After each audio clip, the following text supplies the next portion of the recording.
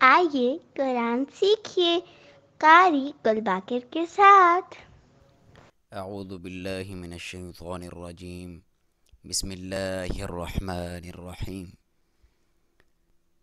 आज का सबक सूरह बकरा की आयत नंबर चौदह से स्टार्ट होगा और आयत नंबर सत्रह तक आज हम तिलावत करेंगे।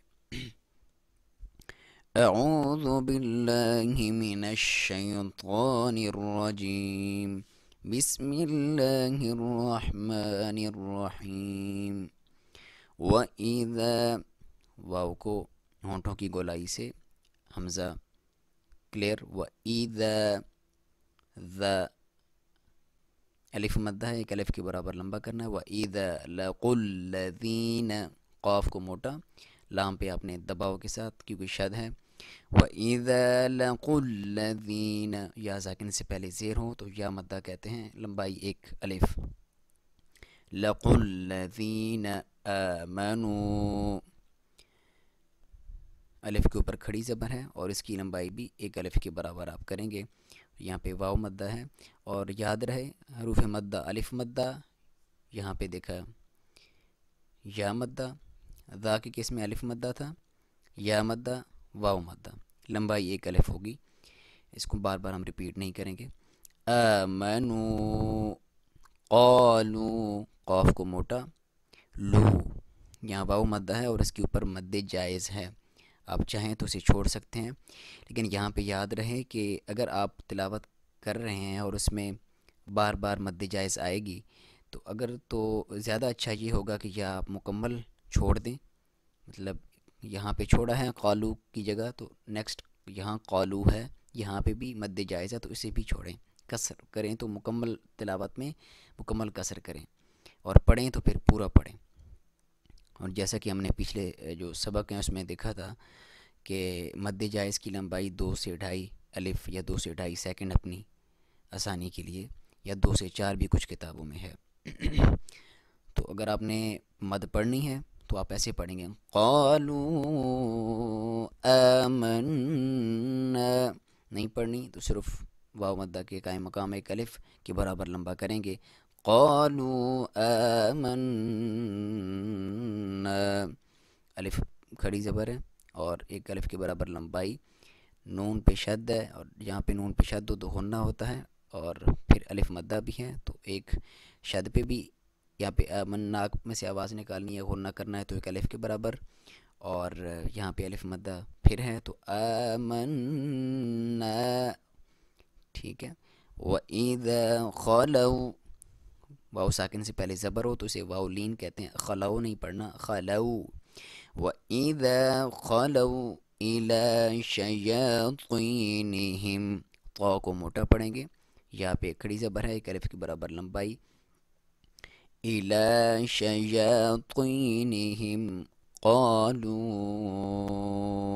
इन्ना मअकुम यहाँ पे फिर मद्दे जायज़ है, जिस तरह मैंने अभी की। अगर आप इसे छोड़ेंगे मीन्स कसर करेंगे, छोड़ने को कसर भी कहते हैं तो आप इसको फिर ऐसे पढ़ेंगे इन्ना मअकुम आइन को क्लियर हल्के दरमियानी हिस्से से। या नून मुशद्दद है, नून पेशद है तो आप नाक में से आवाज़ निकालेंगे और एक, जब नाक में से आवाज़ निकाल रहे होंगे तो एक अलिफ़ के बराबर खींचेंगे और उसके बाद अलिफ़ मद्दा भी है। इन इन्नमा नहनु को क्लियर, नहनु मुस, सीन को सीटी के साथ क्लियर, तह। हा को क्लियर तह, जी, ऊन, हमज़ा की साउंड को क्लियर ठीक है? वह मद्दा है यहाँ पे, इसको एक अलिफ के बराबर खींचेंगे और जब आप वक्फ़ करेंगे तो उसकी लंबाई ज़्यादा भी कर सकते हैं. मुस्तहजिऊन ठीक है? अल्लाह यस्तहजिउ अल्लाह का लाम जो है वो मोटा पड़ेंगे. क्यों? उसके पहले, उससे पहले जो हर्फ है उस पर ज़बर है. अल्लाह यस्तहजिउ यस्तहजिउ ज़ा को सीटी के साथ क्लियर और फिर जो हमज़ा है उसको भी आप क्लियर पढ़ेंगे। ताक़ी किसे कहते हैं मीन्स क्लियर तह तहजी बिहिम वयमुद्दुहुम वाव को होठों की गोलाई से दाल के ऊपर शद है तो दबा के पढ़ेंगे होम मीम का इजहार होगा क्लियर करके। होमा नहीं करेंगे। हम फ़ी तो यामहून। तो को मोटा। गैन के साथ, गैन साकिन है तो जब मिलाएँगे तो आपने तकरार तो गो नहीं करना। तो यानिहिम यामहून। वाह साकिन से पहले पेश है वाह मद्दा। ठीक है। उलाइका, यहाँ पे जो मद है, इसे मद वाजिब कहते हैं। और इसकी लंबाई तीन से पाँच या कुछ किताब में दो से पाँच अलिफ तक आप कर सकते हैं।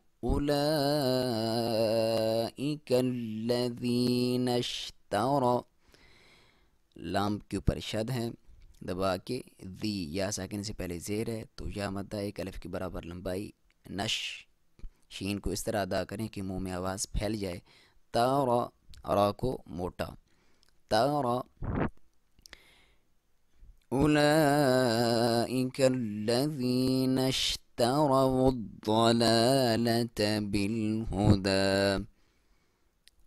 दा को दा पेशाद है दबा के भी और क्लियर पढ़ें मोटा पढ़ें लाम के ऊपर खड़ी जबर है कलफ के बराबर खींचें बिल नहीं करना, बिल, लाम पे आपने हरकत नहीं करनी। बिल हुद फमा रबिहद रा को मोटा।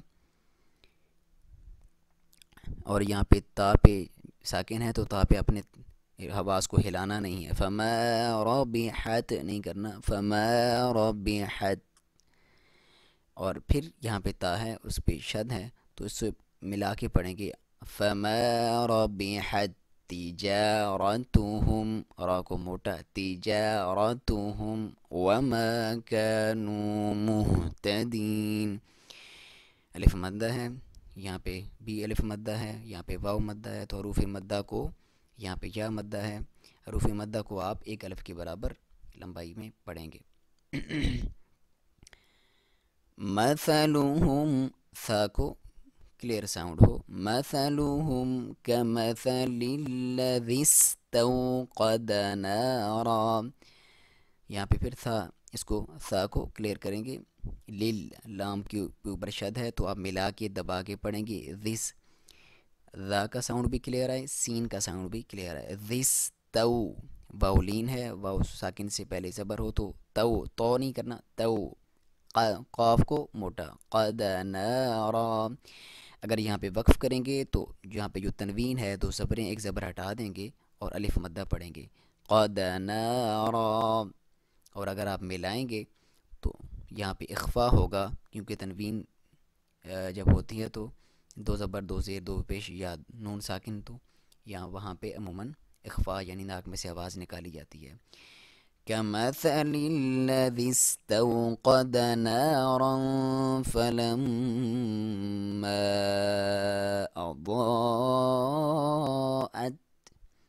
यहाँ पे मद जायज़ है छोड़ भी सकते हैं छोड़ेंगे तो सिर्फ अलिफ मद्दा एक अलिफ की बराबर साउंड होगी आ जो है हमज़ा इसको क्लियर करें दो को मोटा और यहाँ पे मद्द वाजिब है उसकी लंबाई हमने मैंने पहले डिस्कस कर दी तीन से पाँच या दो से पाँच अलिफ के बराबर, और मीम मुशद्दत है, यहाँ पे ना करेंगे एक अलिफ के बराबर लंबाई। फ़लम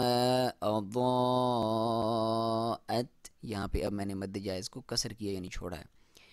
अदा को क्लियर हो, अ, अल, अ का साउंड भी क्लियर आए, हमजा का। अत अत पे आपने आवाज़ को हिलाना नहीं है। अत महू हऊ यहाँ पे वाउ साकिन से पहले ज़बर है तो हऊ नहीं पढ़ना हऊ इसे वाउलीन कहते हैं और हऊ करके अब आप, आपका साउंड होना चाहिए हु उल्टा पेश जो है इसकी लंबाई भी एक अलिफ के बराबर होती है खड़ी ज़बर खड़ी ज़ेर या उल्टा पेश जो है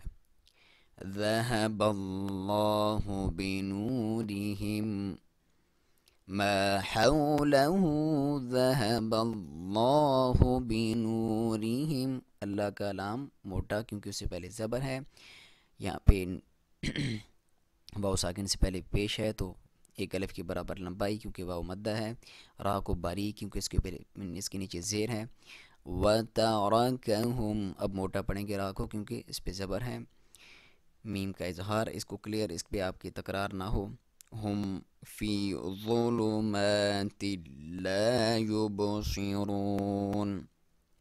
वा को क्लियर साउंड हो। मीम के ऊपर खड़ी ज़बर है एक अलिफ के बराबर लंबाई। हमने यहाँ पे इदगाम हो रहा है लाम के साथ। तनवीन है तो हमने कायदा पढ़ा हुआ है, जिसमें हम तनवीन, दो ज़बर, दो शेर, दो पेश या नून साकिन के बाद अरूफ यरमलून, में से कोई लफ्ज़ है तो इदगाम होता है। तो अब क्योंकि और लाम और रा के साथ जो अदगाम होता है, बग़ैर हुन्ना की होता है। तिल तिल्ला नहीं होगा, फ़ी ज़ुलुम तिल्ला युब युब। यहाँ पे अलिफ मद है और हरूफ कलकला में से बा आता है तो यहाँ पे हमने पढ़ा था हरूफ कलकला कौन कौन से हैं जी? क़ा, क़ाफ ता ब, जीम, दाल।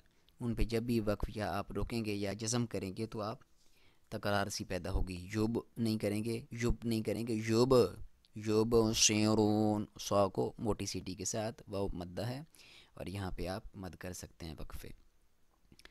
तो आइए तिलावत समात फरमाएं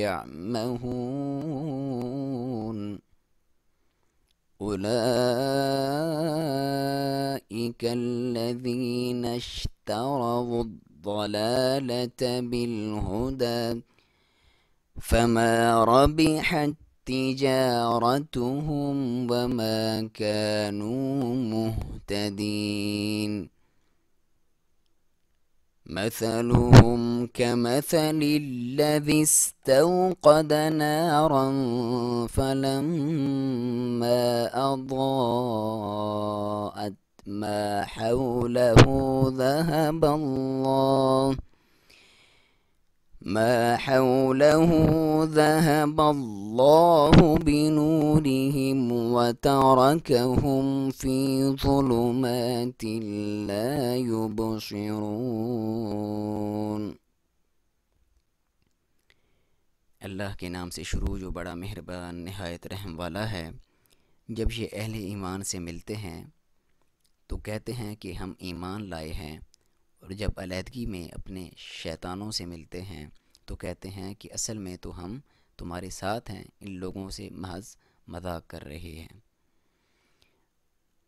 अल्लाह इनसे मज़ाक कर रहा है। वो इनकी रस्सी दराज किए जाता है और ये अपनी सरकशी में अंधों की तरह भटकते चले जाते हैं। ये वो लोग हैं जिन्होंने हिदायत के बदले गुमराही ख़रीद ली है। मगर ये सूद इनके लिए नफ़ा बख्श नहीं है और ये हरगिज़ सही रास्ते पर नहीं हैं। इनकी मिसाल ऐसी है, जैसे एक शख्स ने आग रोशन की और जब उसने सारे माहौल को रोशन कर दिया तो अल्लाह ने इनका नूर बसारत, इनका नूर बसारत सलब कर लिया और इन्हें इस हाल में छोड़ दिया कि तारीकियों में इन्हें कुछ नज़र नहीं आता। सदक़ल्लाहुल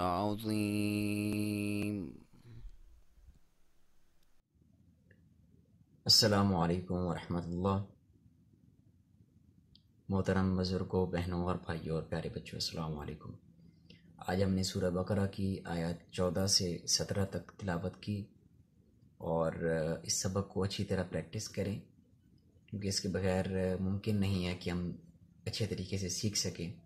बहनों और भाइयों और प्यारे बच्चों, ये लॉकडाउन के दिन हैं और रमज़ान भी है तो उन छुट्टियों से फ़ायदा उठाएँ। और बहुत ज़रूरी है कि क़याम जो है, सुजूद जारी हैं, नमाज़ें जारी हैं। हम तरावी भी पढ़ रहे हैं और पाँच टाइम नमाज़ भी पढ़ रहे हैं। जो लोग बाकायदगी नमाज़ों में पहले नहीं करते तो रमज़ान में बाकायदगी करते हैं। लेकिन क्या ही अच्छा हो कि हम नमाज़ की ट्रांसलेशन भी सीख लें। जो प्रीवियस सबक था हमारा सूरह फातह का, उसमें हमने ट्रांसलेशन पढ़ी थी सूरह फातह की। तो सूरह फातह की ट्रांसलेशन तो वहाँ पे है, लेकिन नमाज़ की ट्रांसलेशन याद करना या ढूंढना कोई मुश्किल नहीं है। नेट पे भी अवेलेबल है, हमारे जो छोटी छोटी किताबें या ईमन के कुरान मजीद के आखिर पे भी कुछ जगह कुरान जो है वहाँ पे लिखी होती है तो खैर ट्रांसलेशन का इशू नहीं है। तो हमें ये अपनी रोज़मर्रा ज़िंदगी में रूटीन बनाएँ डेली रूटीन बनाएँ कि एक एक जो लाइन है एक एक जो जुमला है, फ़िक्र है, उसकी जो ट्रांसलेशन है, क्योंकि अल्लाह के सामने जब आप नमाज़ पढ़ते हैं तो आप अल्लाह से बात कर रहे होते हैं एक लिहाज से। तो जब तक आप उस ट्रांसलेशन को ही नहीं समझेंगे तो आप कैसे अल्लाह से बेहतर तरीके से कम्युनिकेट कर सकेंगे? यकीन माने, बहुत ही सुरूर मिलता है जब आप ट्रांसलेशन के साथ आपको पता हो आप क्या बोल रहे हैं। तो जो वालदेन हैं, उनसे भी मेरी गुजारिश है कि अगर आपको अभी तक ट्रांसलेशन इतनी क्लियर नहीं है नमाज़ की तो वो ख़ुद भी सीखें। और अपने बच्चों को भी तरकीब दें, उन्हें सिखाएँ। रोज़ाना एक लाइन जो आप ख़ुद याद करते हैं तो बच्चों को भी बताएँ कि फ़ॉर एग्ज़ाम्पल अदहिया तो ला तमाम कौली इबादतें, व वसलावात व तय्यबात व तमाम फैली इबादतें, तमाम माली इबादतें। या सुबहानक अल्लाहुम्मा, पाक है अल्लाह, व बेहमद का शुक्र है तेरा या तमाम तारीफ़ें तेरे लिए। तो ये आपको थ्रू आउट पता होना चाहिए। तो ट्रांसलेशन के साथ पढ़ेंगे तो अजर भी ज़्यादा होगा और आपको सुकून भी ज़्यादा मिलेगा। और अल्लाह से बात कर, हम कलाम होने का आपको वाकई जब तजर्बा होगा तो आप बहुत सुरूर मिलेगा। और रियल में आप ये फील करेंगे कि प्रीवियसली आप कैसे नमाज़ पढ़ते थे और अब नमाज़ में कैसे आप। क्योंकि जब आप सजदा करें तो आपको पता हो कि मैं सजदे में क्या कह रहा हूँ, सुबहाना रब्बी अलाउद्दीन तो इसका मतलब क्या है, सुबहाना रब्बी अला इसका क्या मतलब है? ठीक है असलकम रहमतुल्लाह